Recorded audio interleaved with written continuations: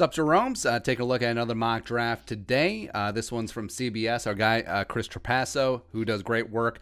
Bills Mafia draft analyst. He's awesome. Uh, we, we needed a break from the Ryan Wilson mock drafts where it just feels like you just pull names out of a hat. I don't know.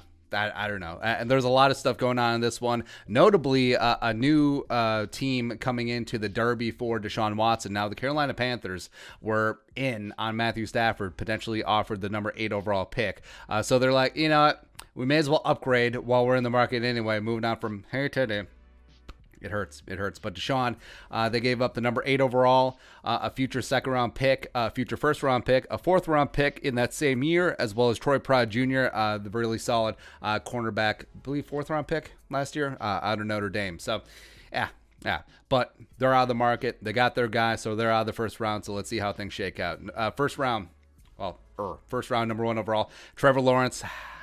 I give it, give it six weeks give it till free agency and you'll see some mock drafts that, that take Trevor Lawrence down. Like, here's that attention you ordered. Hell, maybe we should just do it. Nah. Two, Trevor Lawrence, Broadway, Zachy. Let's go. Flip Darnold uh, for some picks somewhere else. And the Jets, they have nice pieces, uh, but they're not quite ready to compete. Where Zach Wilson will take some time. Uh, you do have Mekhi Becton on the blind side. Denzel Mims is a nice piece as well, uh, and you can double and triple back uh, throughout this draft to get him some weapons. So there you go. Three.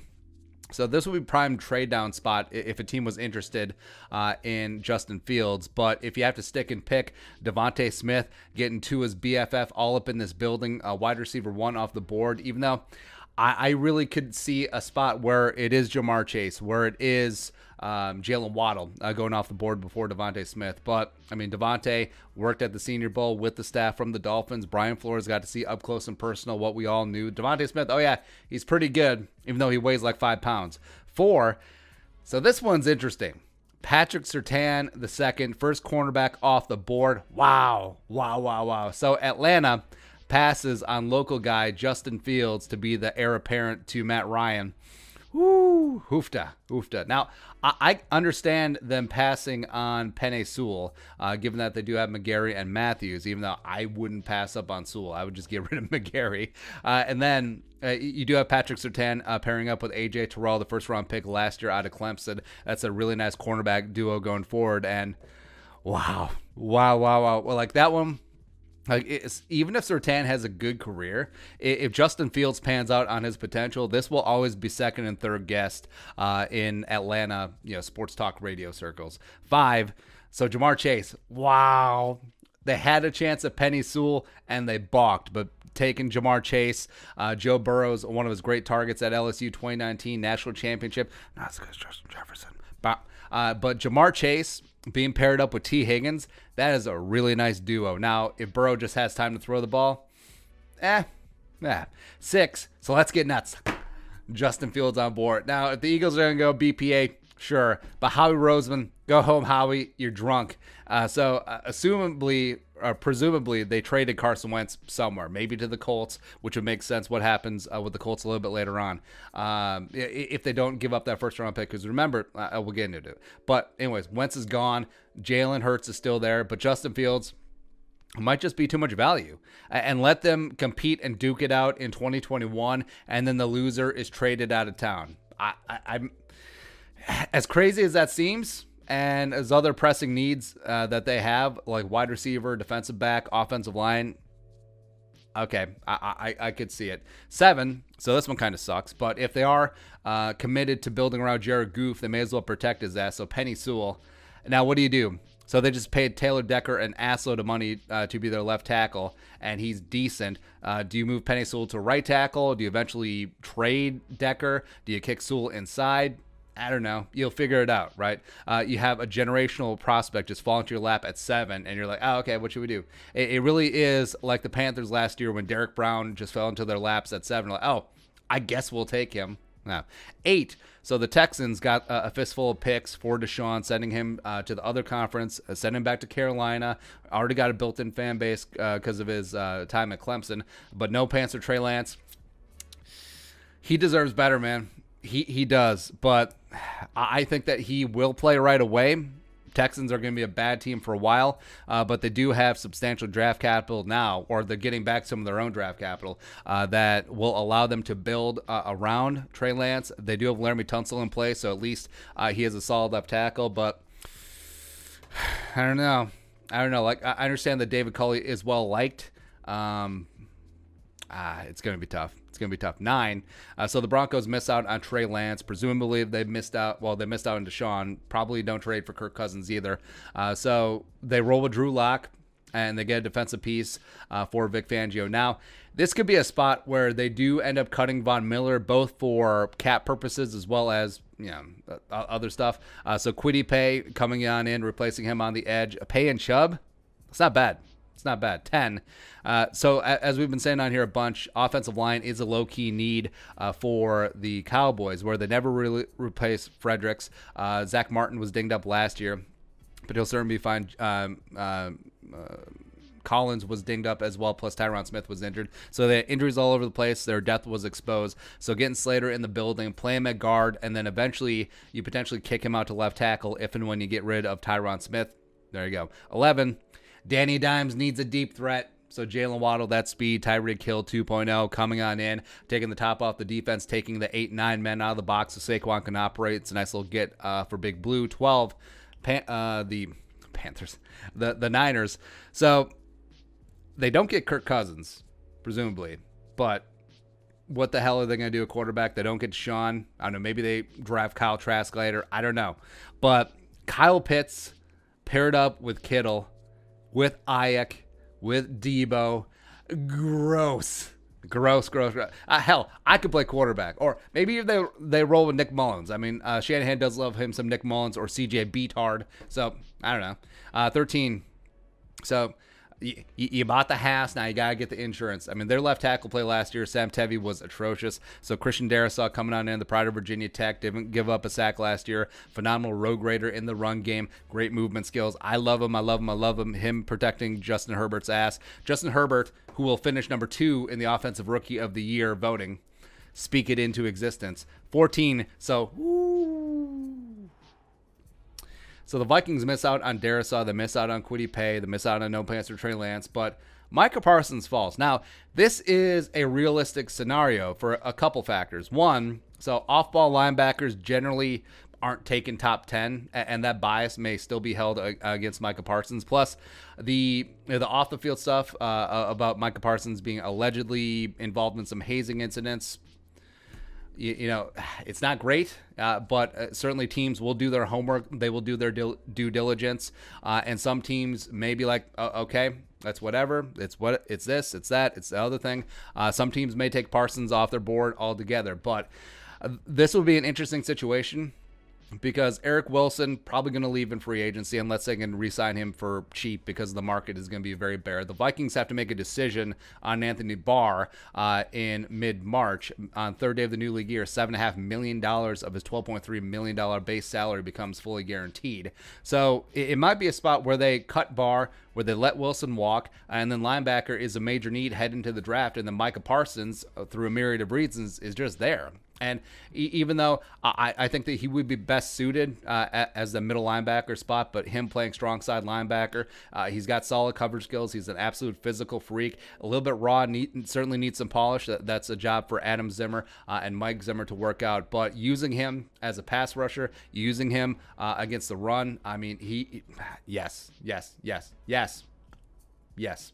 Uh, 15 Patriots. Mac Jones.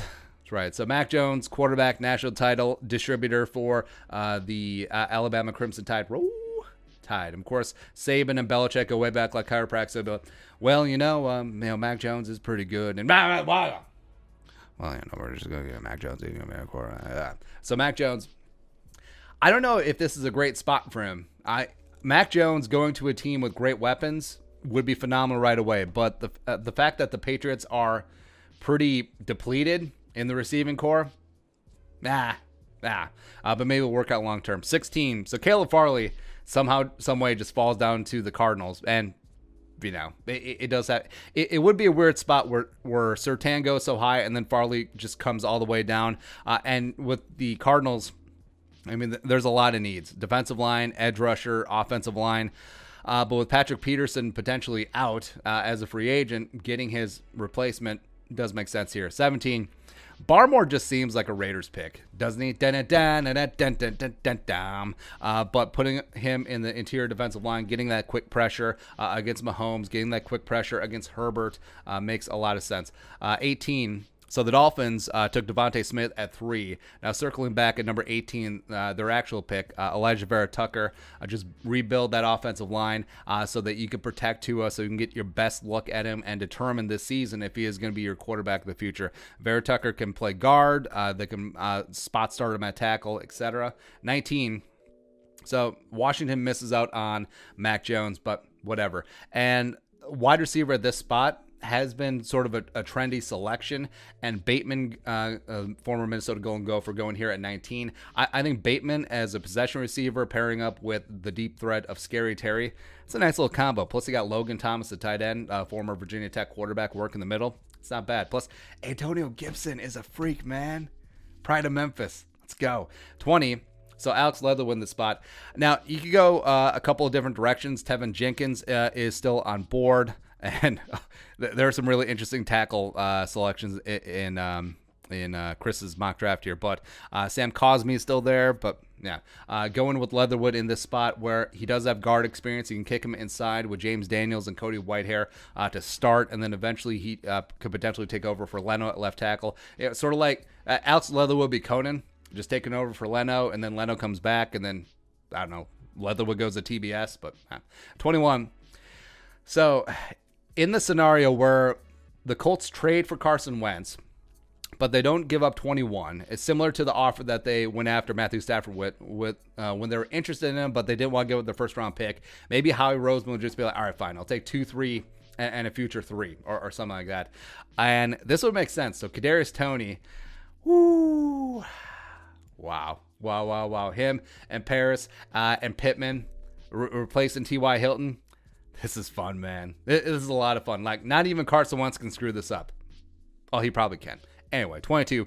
Uh, so the Titans go edge, uh, of course. Uh, Gregory Rousseau as opposed to Azeez, which has been seen in every other single mock draft. So Rousseau at the spot. I, I don't mind it. So you can move him around uh, with Landry and Jeffrey Simmons uh, and get things going. You can play him on the edge. You can play him inside. Makes sense. 23.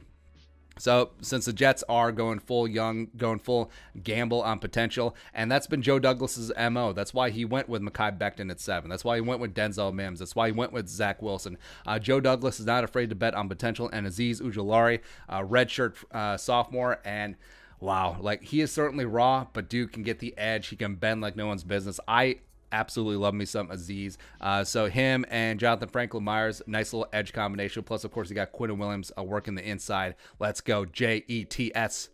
Jets, Jets, Jets. Uh, 24. Teven Jenkins uh, replacing uh, Villanueva at the left tackle spot.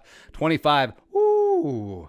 So Jackson Carman, probably going to be a day two selection, but he goes 25 to the Jaguars. Pure connection, protected uh, Trevor Lawrence's blind side. Carman coming on in at the NFL level, he's probably a guard. Maybe he switches over to right tackle, but either way, uh, Trevor Lawrence gets some familiarity because Cam Robinson probably not going to be there. Probably going to leave in free agency, uh, as well as uh, Jawaan Taylor. yeah, about that one? Whiff. 26, Jaelan Phillips replaces uh, Olivier Vernon. Uh, him, uh, Phillips, opposite of Myles Garrett. It's a nice little edge rushing combination. 27, so you could say edge rusher, you could say offensive line, uh, but certainly wide receiver Terrace Marshall Jr., uh, the pride of LSU, uh, wide receiver three, in the 2019 LSU national title team, by the way. Cool. Uh, but him uh, outside the numbers, big body guy. Miles Boykin as well as Hollywood. Um, uh, Hollywood just Hollywood Brown just rolling all over the place. It's a nice little trio of receivers plus Andrews makes a quintet. Yeah, I mean if, if Lamar Jackson can't improve his passing with this, I don't know. Uh, 28, yeah, yeah, the Saints take a linebacker, Zaven Collins. Absolute tackling machine. The Eric Kendricks clone in that Saints defense. That sucks. 29. So the Packers don't go wide receiver, which is interesting because Rondale Moore just sitting there chilling. He's like, please. I want to catch balls from Aaron Rodgers, but no, not so much. But Boogie Basham, uh, the pride of Wake Forest, uh, he, he come try again. He's coming in, nailed it. Because uh, uh, Chris talks about that they might have to cut Preston Smith uh, in terms of saving cap if they want to reward Aaron Rodgers, which uh, is an interesting angle and certainly could happen. I, I, think they'll definitely hang on to Za'Darius no matter what. They'll, they'll, probably restructure him. But Preston, even though he's been decent uh, uh, of the two Smith brothers, but nah, nah. so Boogie comes in right away and just, damn, I hate it. I hate it. 30. Jeremiah Owusu-Koramoah, joke coming out of Notre Dame, money backer, where the Bills, the Bills may see them being rivals to the Chiefs for the, the next for the foreseeable future, right? So if they want to get to the Super Bowl, it's going to have to go through Kansas City, and you have to stop Travis Kelce. So Jeremiah Owusu-Koramoah is going to be the Travis Kelce eraser. So wow, wow, wow. Uh, 31, Wyatt Davis, no matter what. Uh, so the Buccaneers just hammer down, hammer down again on offensive line. So they hit on Wirfs last year, uh, and now uh, they're getting Wyatt Davis, who is probably going to start the year on the pup, but it's whatever. And then eventually he's going to start uh, opposite of Alex Cappa, the two uh, at the two guard spots. So getting it, Wyatt Davis, no matter what. and then finally 32, Wheeler Walker Little Jr., where I think that Walker's probably going to be a second round pick maybe a third round pick, a day two selection, sure. But I mean, if the Chiefs want to get all up in here so that they don't have to rely on Mike Remmers and maybe they move on from Eric Fisher, I don't know. Uh, but he certainly has the potential. He's got the size, he's got the length, uh, and he would certainly do well protecting Patrick Mahomes. But he was injured in 2019. Uh, he was opted out in 2020. Really, his only his last good tape was in 2018. So it's a big gamble, but there you go. Uh, so dude's still on board. Kyle Trask. And given the run on quarterbacks, like maybe he goes. Maybe. Uh, the two running backs didn't make it. Najee Harris, Travis Etienne, Rondale Moore, the wide receiver from Purdue, didn't get the call. Pat Freiermuth, tight end from Penn State, nope. Uh, and then offensive line, Sam Cosmi, Jalen Mayfield, uh, Joseph Ossai, Jason Nowe, uh, Daviyon Nixon, Levi Onwuzurike on the defensive line didn't get uh, tagged either. Uh, Nick Bolton, Dylan Moses, linebackers. Now, could you say Bolton or Moses, maybe to the Saints instead of Zaven Collins. Nah, I'd still go Zaven Collins. Uh, cor- uh, defensive backs, Jaycee Horn. Wow. Jaycee Horn didn't make it. Tyson Campbell, no go. Asante Samuel Jr., no. Uh, and then no safety selected in the first round either. Jevon Holland uh, and Trevon Moehrig, not so much. But yeah, I think it might be a, a, decision for the Vikings that they may have to have where uh, you know, Micah Parsons potentially could fall for the myriad of reasons. Uh, him being an off-ball linebacker, plus the off-the-field stuff. Uh, but the Vikings, you know, they've made a commitment to drafting high-character guys, building a locker room, and they would have to make a decision because he's an absolutely uber talented player. But you know, is it going to be a deal breaker? Uh, I, guess we'll see. Uh, but your thoughts, uh, CBS Sports latest mock draft, let us know in the comments section below. Subscribe for daily Vikings takes. Want to support that work, pull us on the Venmo. But until next time, Skol, production value.